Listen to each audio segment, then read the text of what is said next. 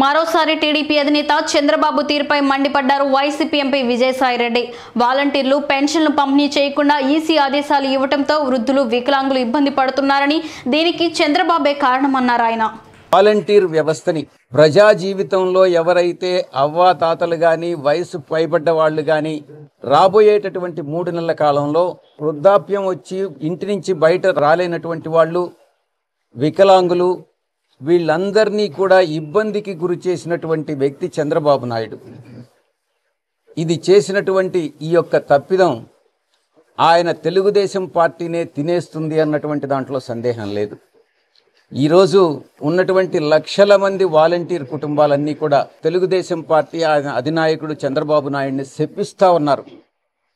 ఆ యొక్క శాపం చంద్రబాబు నాయుడిని చుట్టుకుంటుంది అన్నటువంటి విషయంలో ఎటువంటి సందేహం లేదు.